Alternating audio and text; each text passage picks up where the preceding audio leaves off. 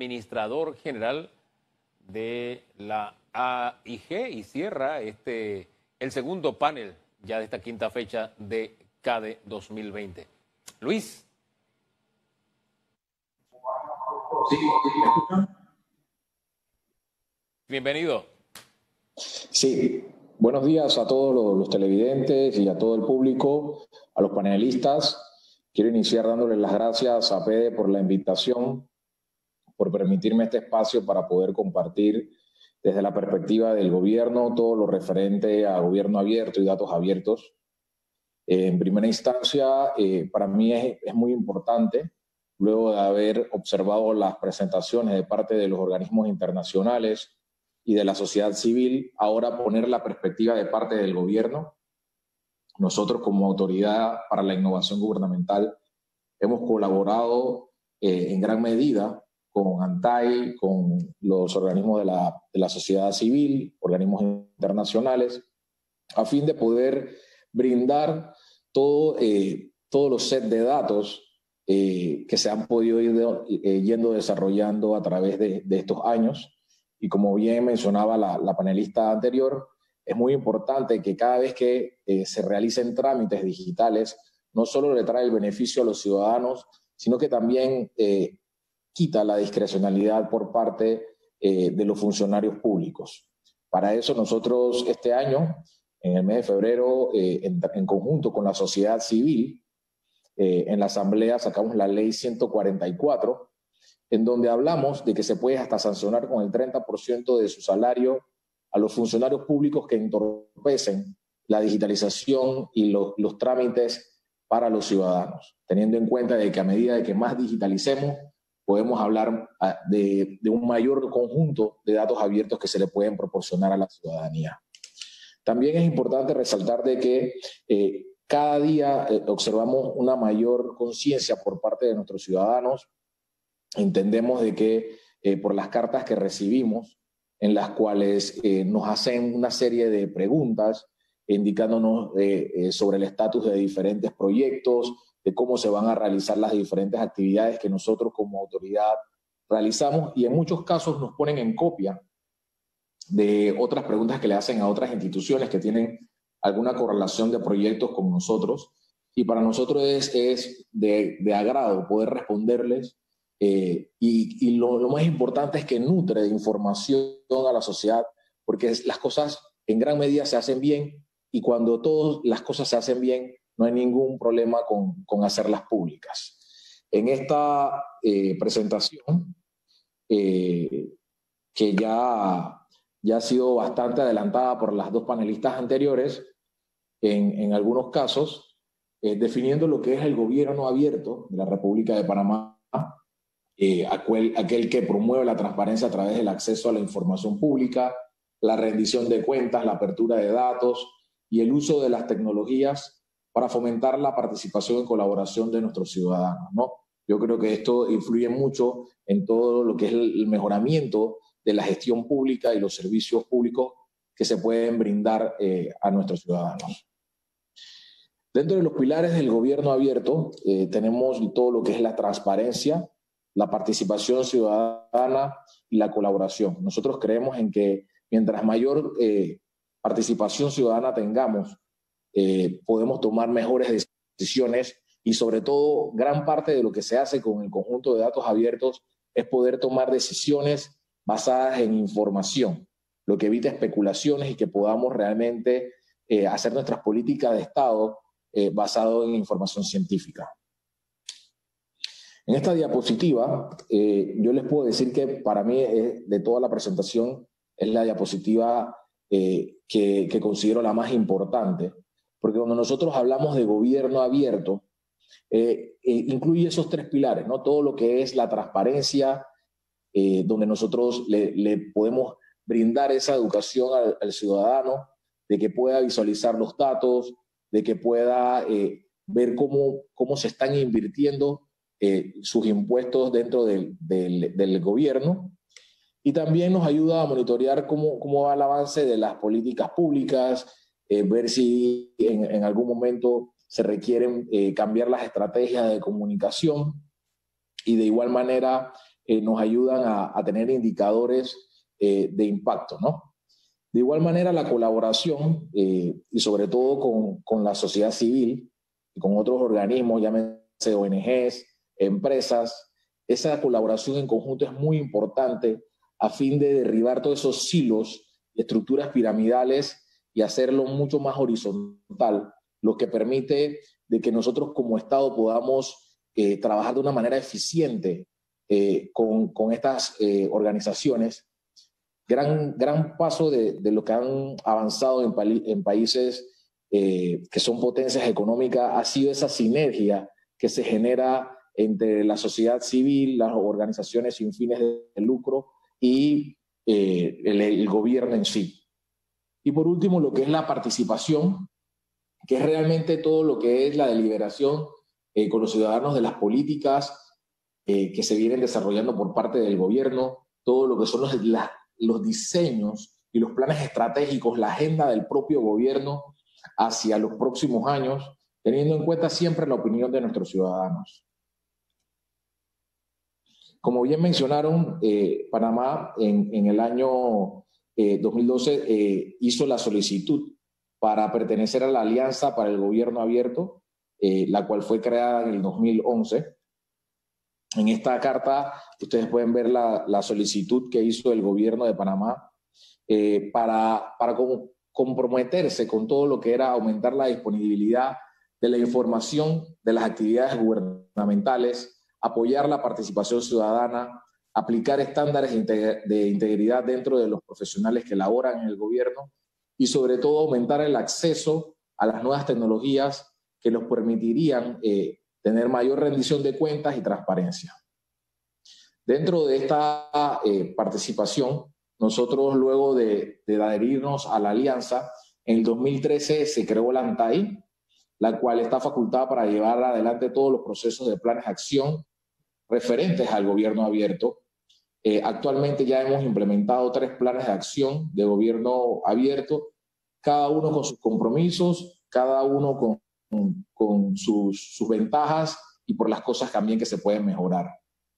De igual manera, en, en el año pasado se trabajó la co-creación y presentación del cuarto plan, eh, el cual nos encontramos elaborando en conjunto con ANTAI y los diferentes organismos, pero basados en, en, compromiso y, tal cual se han venido manejando. En el primer plan tuvimos cinco compromisos con tres ejes temáticos.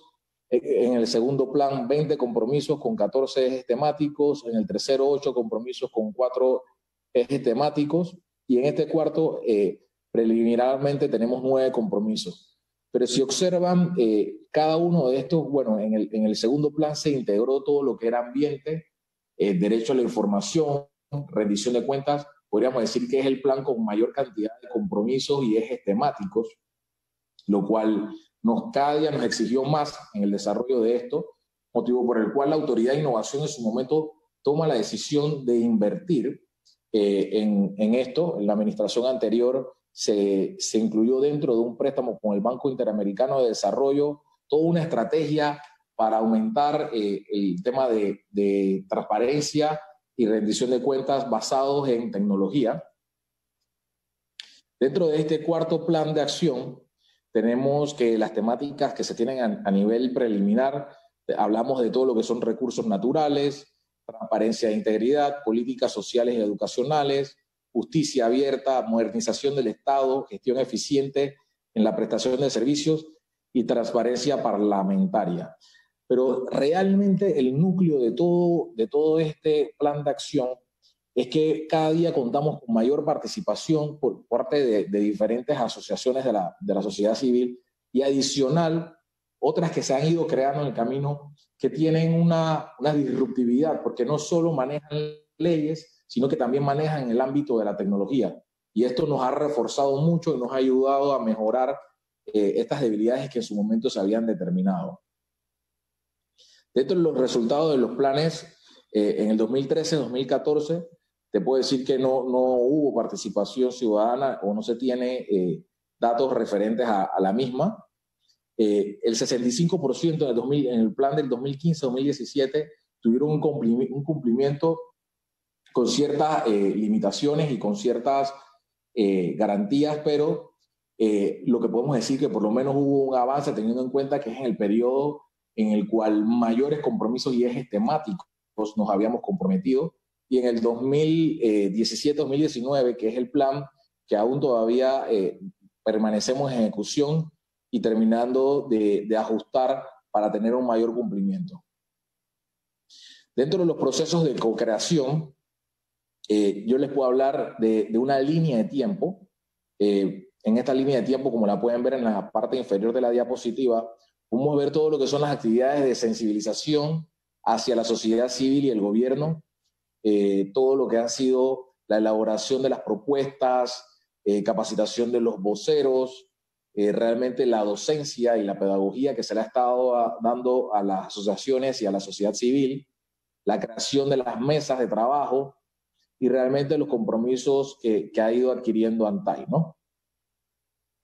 Dentro de esta línea de tiempo,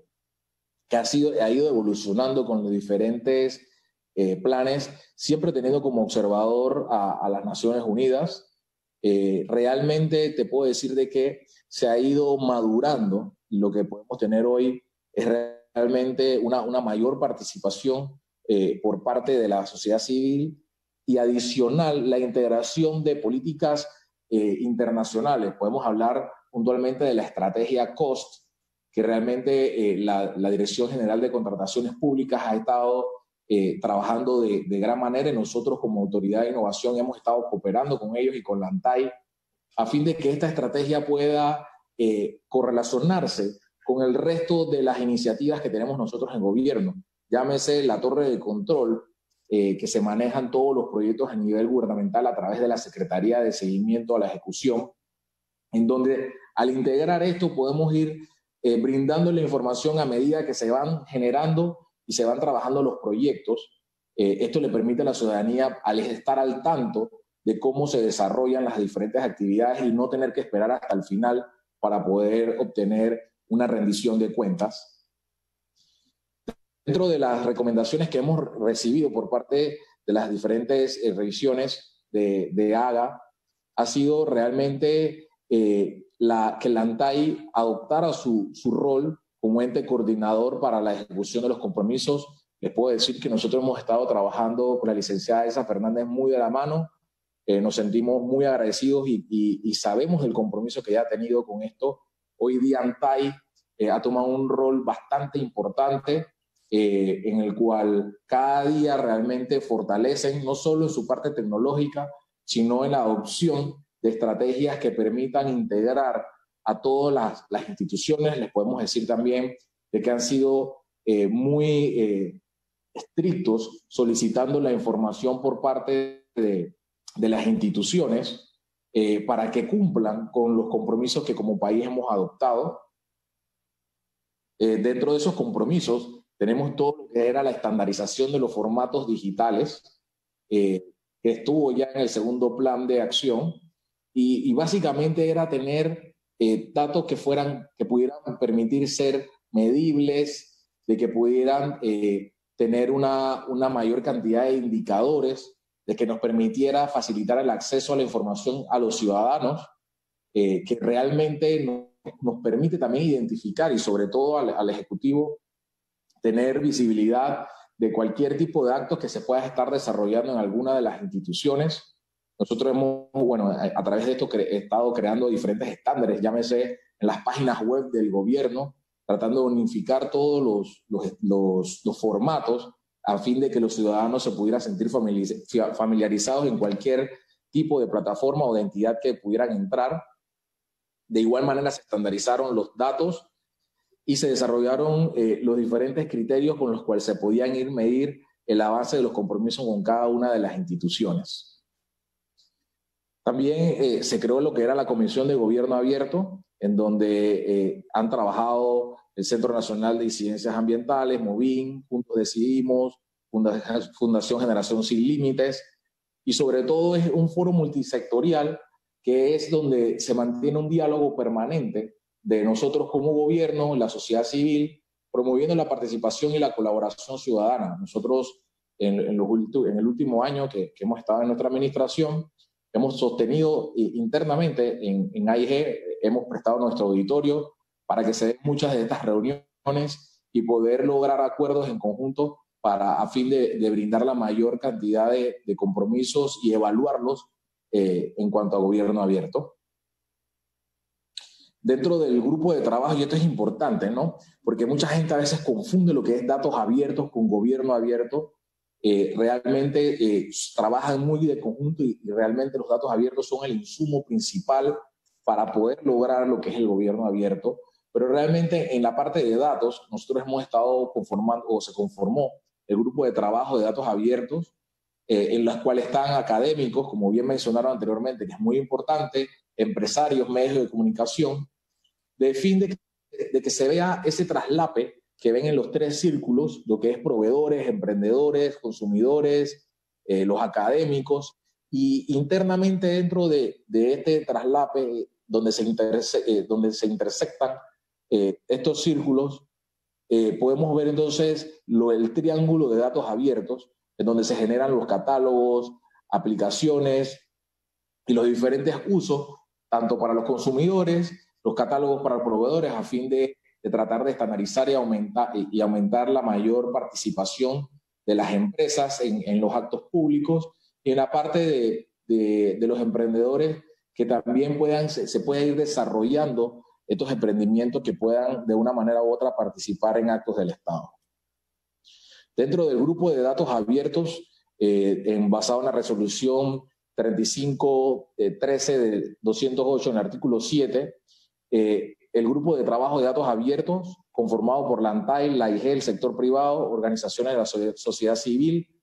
llámese Impandetec, APEDE, APANDETEC, que eran, son dos organizaciones que nos han colaborado mucho porque eh, entienden todo lo que es el marco legal y a su vez tecnológico, el sector académico, los medios de comunicación y cualquiera que considere el grupo de trabajo, podrían ser hasta estudiantes. Dentro del cuarto plan de acción del plan de gobierno abierto, eh, que, se, que, se, trabaja con, con los compromisos en, en, los cuales nos queremos enfocar eh, en este, a partir del 2020-2021, eh, enfocado en el tema de medio ambiente, políticas sociales, en reducir esa brecha de la desigualdad. Sabemos de que a medida de que vayamos teniendo información podemos observar cómo las inversiones en diferentes tipos de, de ayudas sociales o de transferencias económicas pueden ayudar a reducir esa brecha, todo lo que es la justicia abierta, la modernización del Estado, también lo que es la transparencia e integridad y lo que es la transparencia parlamentaria, donde se ha estado solicitando un informe de gestión por diputado trimestral en la página web de la Asamblea. Esto sería todo por parte de, de nosotros. Les agradecemos la atención que nos han brindado.